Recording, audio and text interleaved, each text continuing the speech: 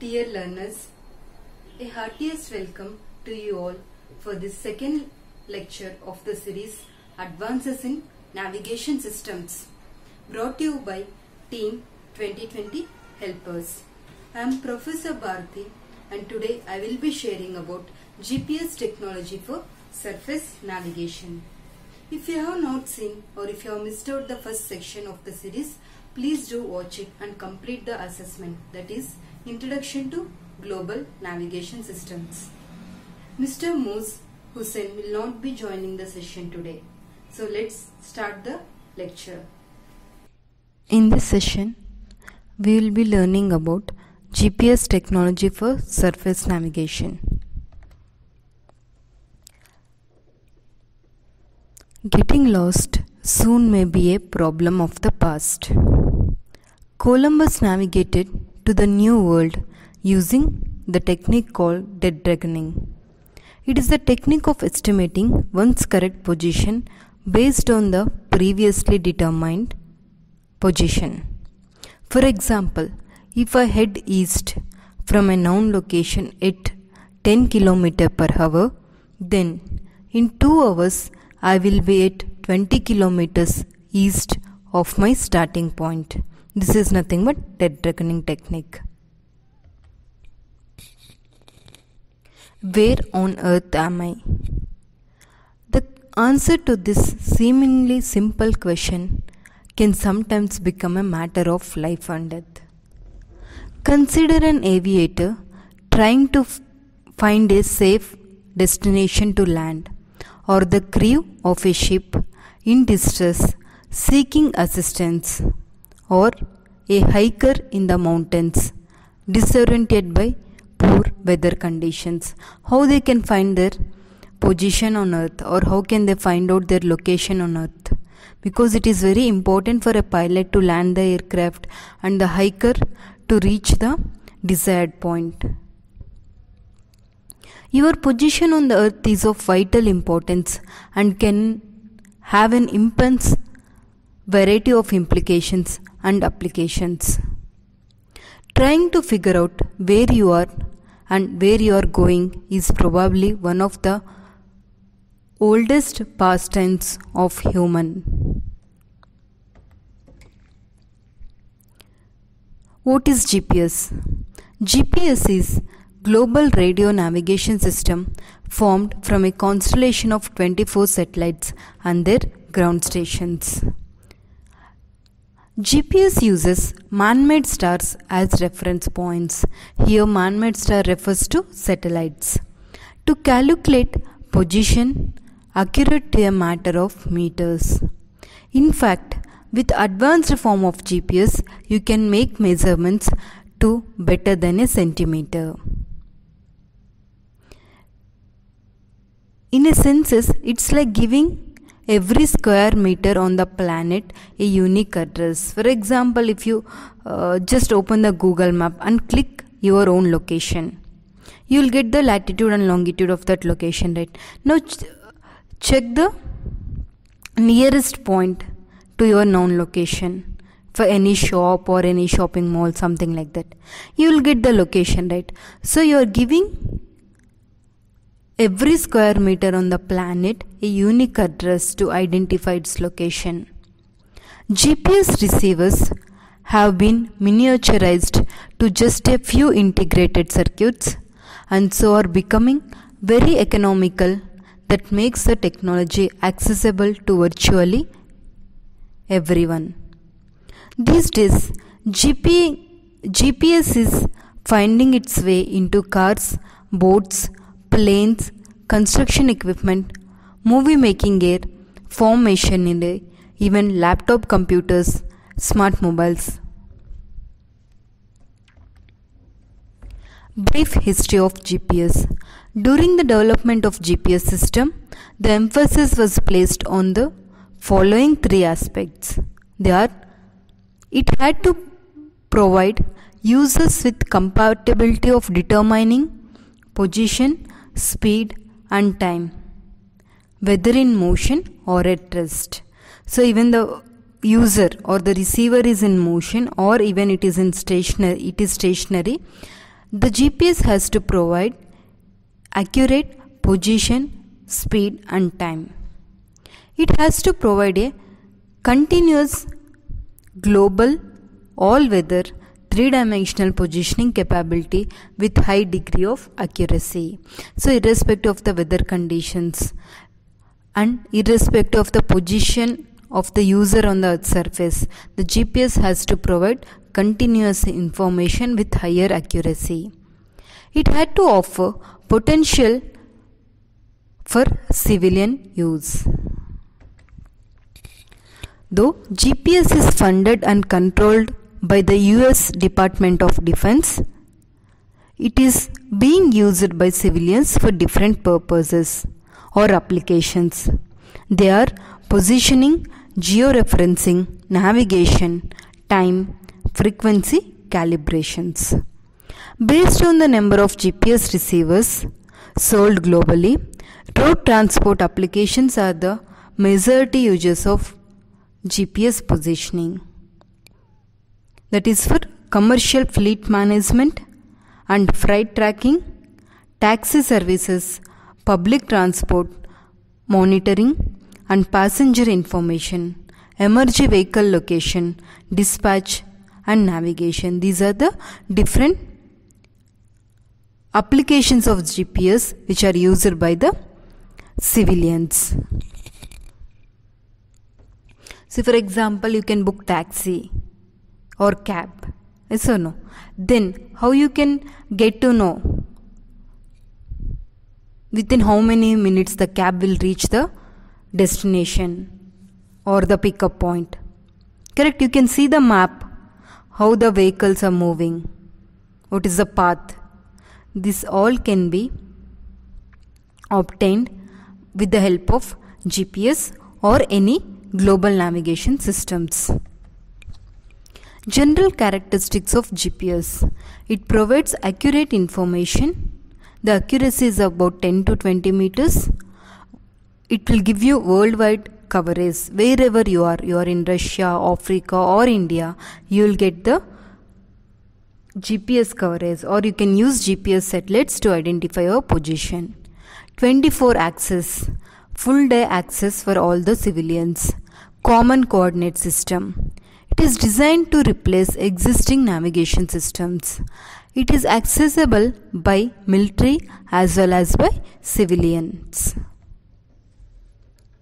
The GPS is an Earth orbiting satellite based system fully operational since 1993. Signals available anywhere on the Earth during day and night. It is used to determine position, altitude above the ellipsoid and precise time. What do you mean by ellipsoid? Ellipsoid is a smooth mathematical surface which represents the earth shape and very closely approximately relates to the geoid. So we can determine the position, altitude and time above the ellipsoid that is above the earth surface. GPS satellites circles the earth twice a day. They are placed at the altitude of 20,200 kilometers and the velocity of these satellites are 3.9 kilometers per second.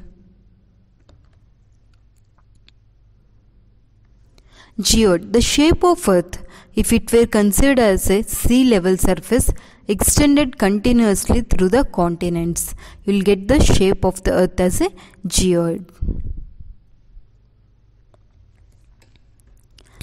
As we discussed in the previous section, the segments of global navigation system are space segment, control segment and user segment. This is similar to our GPS as well. GPS architecture can be classified into three segments. Space segment, control segment and user segment. Here, space segment refers to the satellites which are placed above the earth's surface at 20,200 kilometers and the inclination is around 55 degree. Now the second segment is control segment. It consists of master station, base station and control stations.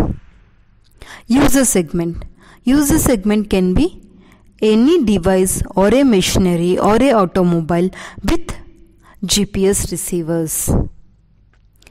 Illustration of three core segments to GPS are shown in this particular figure.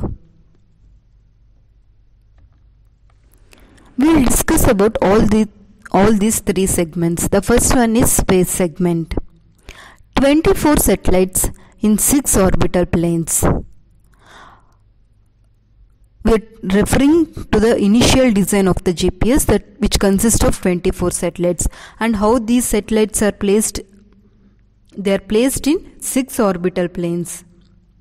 So obviously each plane will get 4 satellites.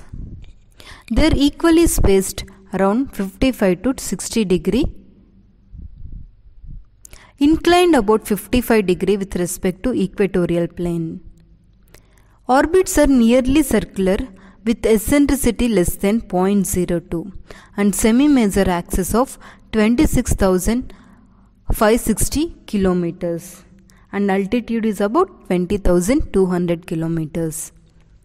Orbit in this height are referred to as MEO that is medium earth orbit satellites. The satellites have a speed of 3.9 km per second and a nominal period of 12 hours sidereal time, repeating geometry each sidereal day.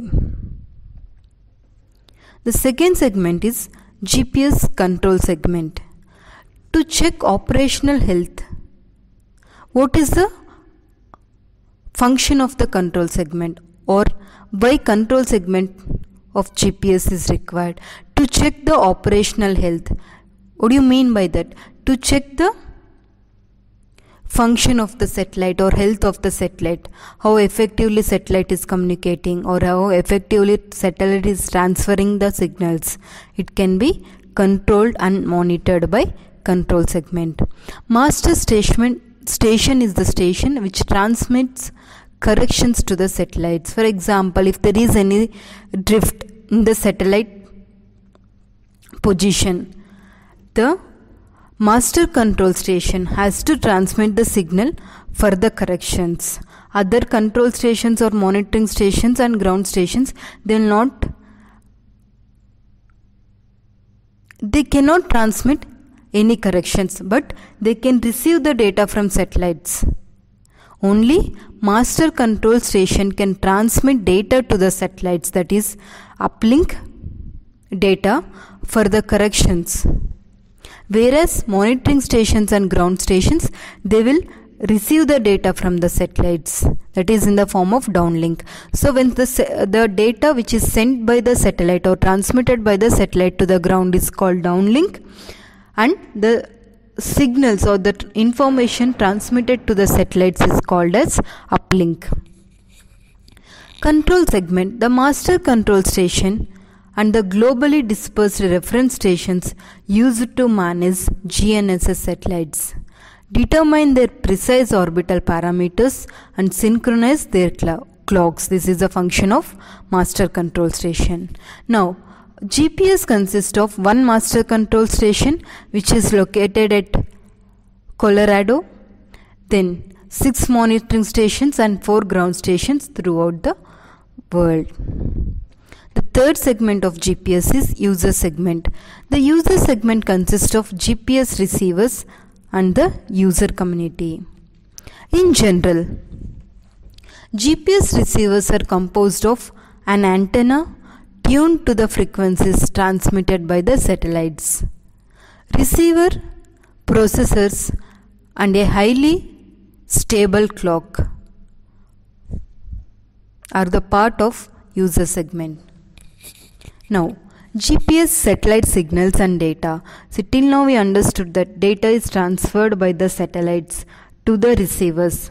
Based on some principle or mathematics we are going to calculate the user position. But how actually the satellite transmit the data? What is the frequency of gps satellites? The satellite transmits two microwave carrier signals with L1 and L2 frequency.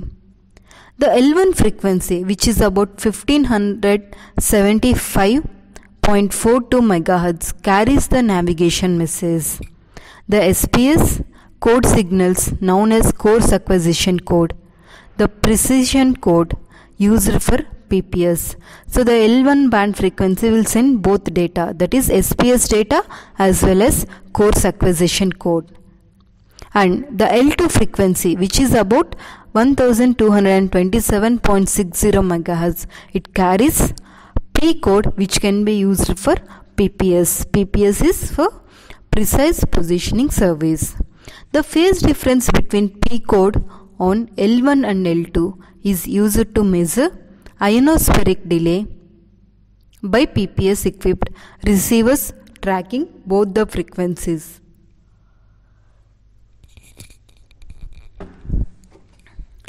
In this particular slide, we are going to look at the frequencies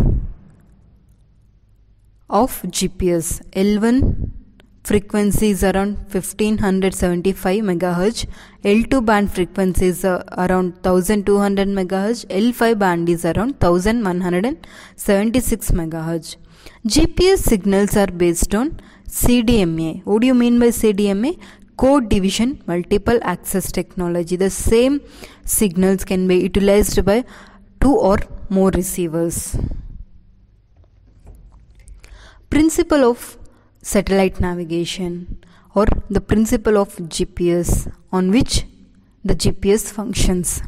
Satellite navigation systems use satellites as time signal transmitters. Here, the satellites will transmit a signal which consists of time data.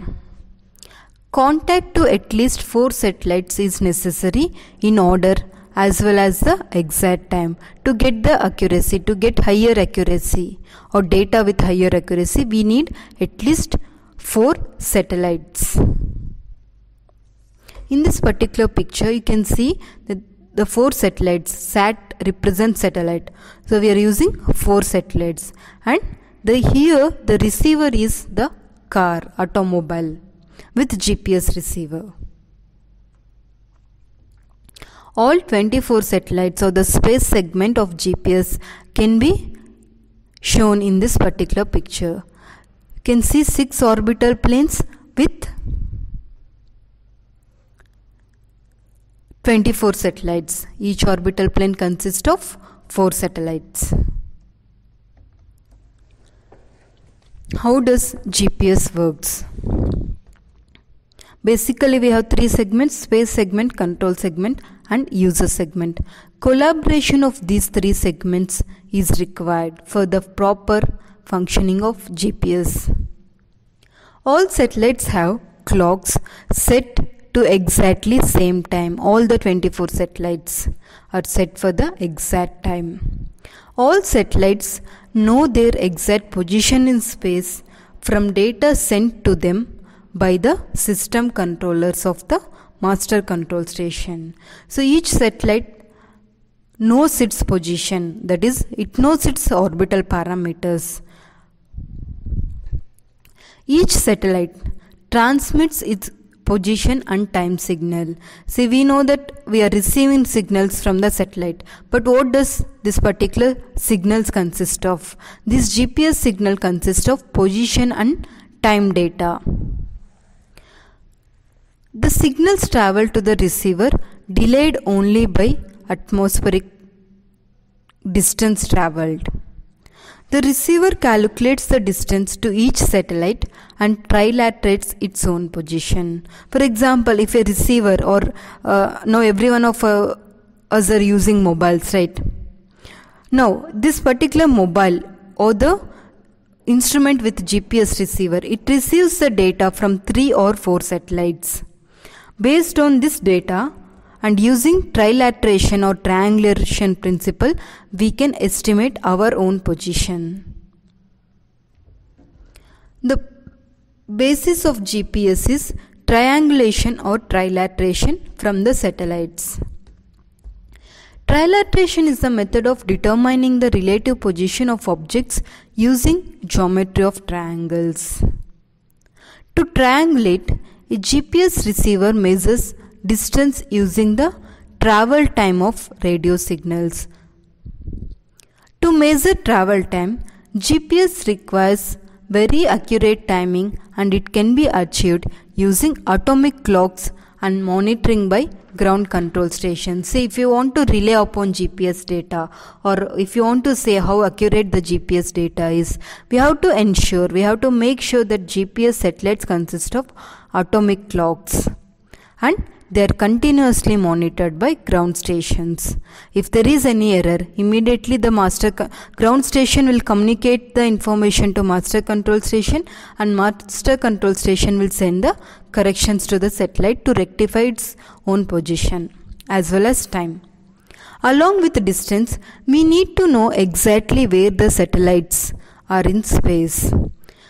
High orbits and careful monitoring are maintained for that particular purpose. Finally, correct for any delays the signal experiences as it travels through the atmosphere. When the GPS signal is traveling through the atmosphere, it will experience different weather conditions or it, it has to pass through troposphere, stratosphere, ionosphere. It has to uh, pass through an environment which consists of tall buildings. So there will be a reflection sometimes. So all these corrections has to be incorporated. Distance to satellite is determined by measuring how long a radio signal takes place to reach the earth surface from the satellite. So how distance is calculated? By considering the time how long the signal will take to reach the receiver from the satellite. To make the measurement, both the satellites and receiver generate the code. See how you are going to measure this time? By using the receiver and the satellite. They both has to generate a pseudo-random code which is called as PRC. To make the measurement, both satellite and the receiver has to generate the same pseudo random code at exactly the same time. So based on these two signal comparison, we can estimate the time delay. By comparing how late the satellite pseudo random code appears compared to the radio receiver's code or the receiver code, the time taken for the radio signal is calculated or derived. Multiply the time travel by the speed of light to get the distance. This is by using simple formula between by using the relation speed, distance and time. Multiply the travel time by the speed of light. If you multiply speed into time, you will get the distance.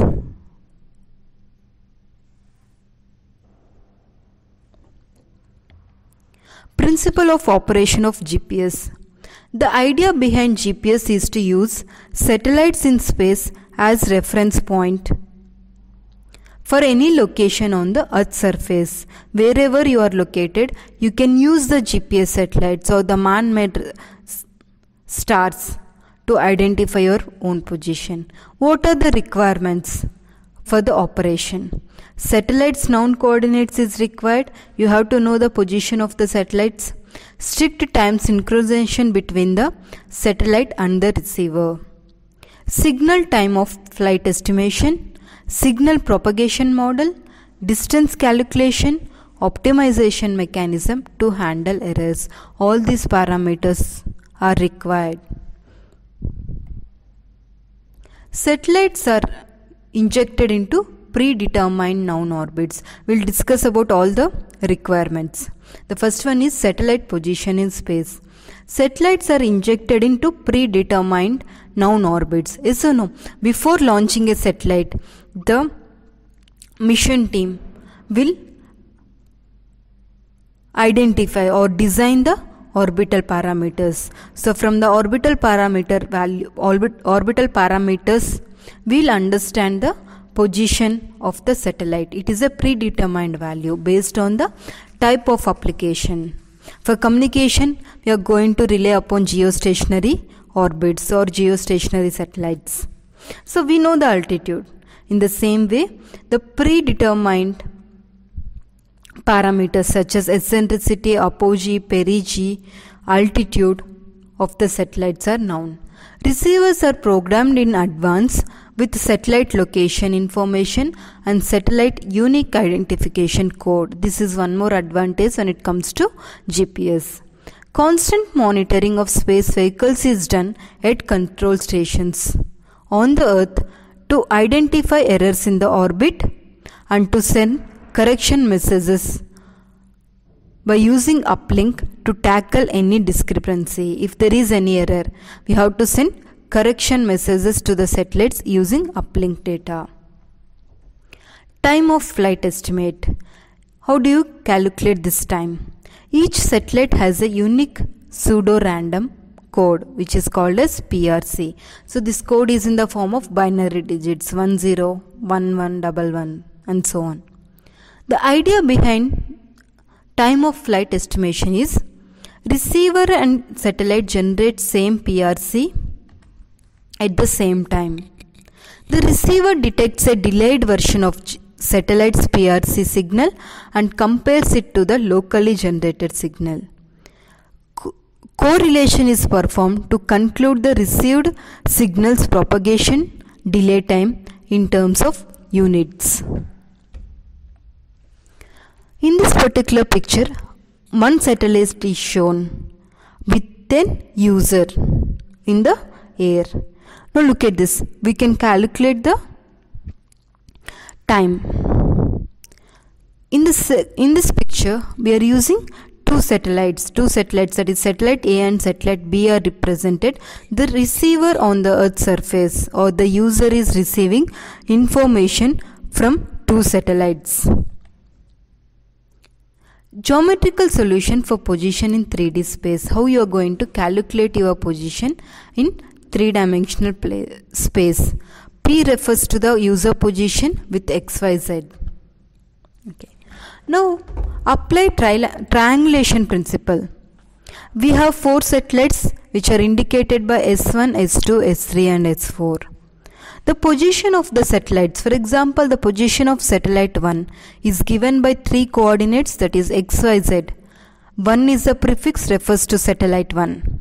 2 is for satellite 2, 3 for satellite 3 and 4 for satellite 4. So the position of satellite 4 is x4, y4 and z4. These are the coordinates for satellite 4. And user position. User we can take it as a u subscript u. The location of the user can be given with the help of xq, yu and zu. Now here r stands for range. Range is nothing but the distance between S1 and the user. Satellite 1 and the user is R1. Satellite 2 and the user is R2. Now, in this picture we can see the PRC code, the same PRC code generated by all the satellites and the user. The first one is user code, user bias for system time. There will be some delay that is delta t. Now the user or the receiver has generated a pseudo random code PRC. Now at the same time satellite 1 will be generating the, generating the same PRC but there will be a time delay of delta t1 because it has to pass through the atmosphere to reach the receiver. S similarly with a satellite 2, 3 and 4 will be having time delays. There will there are different time delay values for all the satellites. Okay, based on this how you are going to calculate distance. Distance is nothing but velocity into time of flight or speed into time of flight. Radio frequency signals propagate at roughly 1800 miles per second. In vacuum, radio frequency signals propagate at the speed of light, but in reality, the speed of RF signal is different. Time of flight concept is based on strict time synchronization between the satellite clocks and the clock of corresponding receiver. Now we know the c value that is speed of light and delta t what is the time delay for the what is the time delay between the signal transmission from satellite to the receiver. Four pseudo ranges are given by R1P. Here P stands for pseudo. R1P, R2P, R3P, R4P. To the four satellites S1, S2, S3 and S4 can be determined by using a simple formula that is R is equal to C into delta T. Here we are using the distance formula only. Range is nothing but your distance which is equal to velocity or speed that is C speed of light into time required that is delta T. So R1P is equal to C into delta T1. Here C is constant that is speed of light. R2P is equal to C into delta T2. Then let the range equivalent of user clock offset. Depending on the user, we can write the offset value that is Cu is equal to clock offset Cu is equal to C into delta T. So now we have pseudo ranges, four pseudo ranges with us.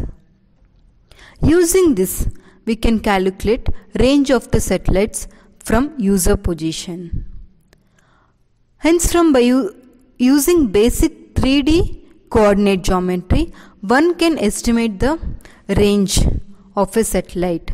R1 is equal to, this is by using geometrical equations x1 minus u1 whole square. Look at the first equation.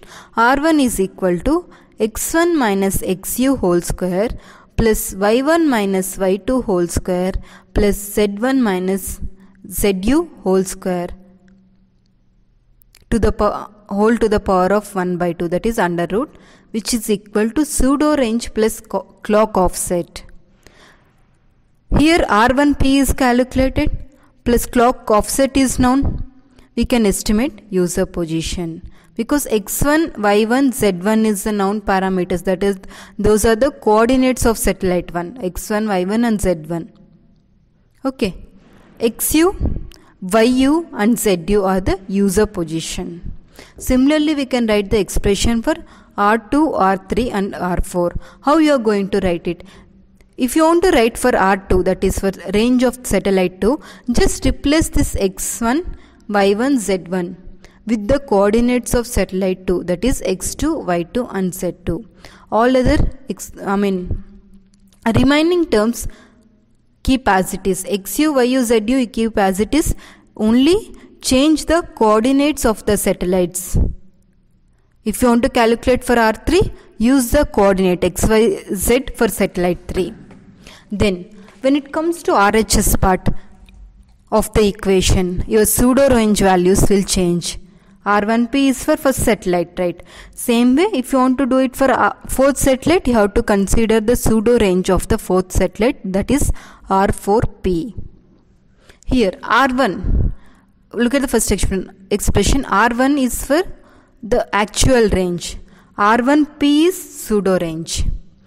With four equations and four unknowns that is xu, yu, zu and the time offset set delta t can be calculated. GPS triangulation principle or the coverage of a GPS satellite or how exactly you can get the data can be understood by using these pictures. Observe this picture.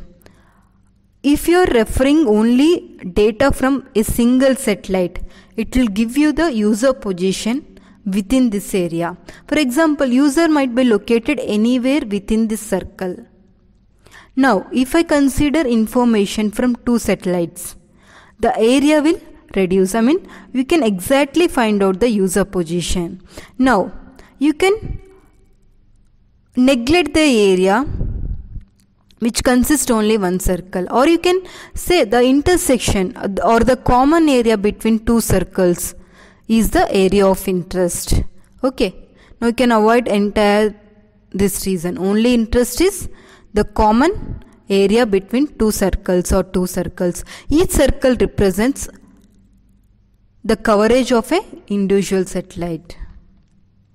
Now if i add or if i consider data from third satellite we can say that the user is exactly in this position which is represented by star okay If you are using single satellite, the area, I mean the user is located within this area. If you are using data from two satellites, why we have to calculate R1, R2, R3 and R4? Because of this the reason. If you are considering data from two satellites, you can say the satellite is or sorry the user is located at one of these points that is the intersection points between two circles. Now if I consider the third circle or the third satellite, you can exactly or precisely identify the user position. That is nothing but the common intersection po point of three circles is nothing but your user position. So these three pictures are related to two dimensional. Now the same thing is represented with the or represented with three dimensionals. This is earth surface or the planet earth. Now this is the circle, the red circle represents the data from the satellite 1. Now, if I receive data from satellite 1 or a single satellite, the, I can understand that user is somewhere within this region on the surface of the earth. If I consider data from the second satellite, I can say user is located somewhere between the intersection area of two circles. Now if I incorporate third circle that is third satellite I can exactly say where the user is located. Fourth circle will give the user location with higher accuracy. Here all the four circles represents four satellites, four individual satellites. This is about GPS, parts of GPS, architecture of the GPS and principle or principle of operation of the GPS which is triangulation. Now let us compare or let us extend our topic little beyond. We can compare GPS and IRNSS that is Indian Regional Navigation Satellite System which is more accurate. We'll look into this topic. The main difference is GPS consists of 31 satellites, IRNSS consists of 7 satellites. So, how we will get an accurate location by using IRNSS? Earlier, ISRO chairman A.S. Kiran Kumar mentioned that 24 satellites of GPS is for entire globe whereas 7 satellites of IRNSS is covering only India and its neighboring countries. All these seven satellites will be visible on the ground receiver all the time. Even IRNSS data can be used during day as well as during day night time. But which is more accurate? Further, in the case of IRNSS, the seven satellites are in geosynchronous orbits, hence always visible to a receiver in a region of 15,000 kilometer around India. This was the coverage for IRNSS, area coverage. Another point is that satellites are nearly vertical over India and therefore visibility in urban canyons is much better than in case of GPS, GPS satellites. Tapan Mishra then director of SAC believes that Navic is going to be better than GPS for Indians because always we can see or we can get the data from the seven satellites. He mentioned that while GPS is using L band signals, Navic is using both L and S band. Since our signals are coming vertically from stationary reference, our Navic is going to work better than GPS in crowded places. And if you use both L and S bands, our accuracy is more than 5 meters, which is far better than GPS. It has a better potential than 20 meter accuracy of GPS, which is actually supplemented by the GPRS information. So now you can compare the accuracy of IRNSS with GPS when you are in India. In India, if you are using GPS, you will get the accuracy of 20 meters, and if you are using IRN, IRNSS satellites, you will get the accuracy of 5 meters. But our Navic can give the accuracy the GPRS and GPS give combined. And that accuracy is not only for cities but every rural part of the country. This is the reason why most of us are relying on Navic for navigation purpose. When we speak of accuracy today, we have Gagan which uses GPS signals with additional information provided uh, about the position of the satellites. It tells you which GPS satellites are giving you more accurate information. It corrects the errors in GPS signals with the help of 28 receiving stations spread across the country with all ionospheric corrections that are required for instant computation. The information is provided by Gagan. However, Gagan enables you to better accuracy than GPS. It is certified by Civilian Aviation Ministry for safety of life and integrity is guaranteed. It means that if you get a position in the Gagan enabled receiver, then you can depend on it for the safety of any life activity. Let me remind you again that Gagan is using GPS signals. Imagine a situation when seven dedicated satellites, which are visible to the ground receiving station, 24 by 7 will provide you signals. So obviously we are if you are using GPS we are relying on 3 or 4 satellites but if you are using NAVIC or IRNSS we are using data from 7 satellites. We can use data from all the 7 satellites which will give you higher accuracy. The last concept is GPS modernization. GPS space segment modernization includes new signals as well as improvement in atomic clock accuracy, satellite signal strength and reliability. The control segment modernization. We are talking about two segment modernization, space segment as well as control segment. Control segment modernization includes improved ionospheric and tropospheric modeling, in orbit accuracy and additional monitoring stations. Latest generation of GPS satellites has the capability to transmit new civilian signals for the civilians. It will also provide the ability to directly measure and remove ionospheric delay error for a particular satellite using civilian signals on L1 and L2 band. This is about GPS modernization. Thank you.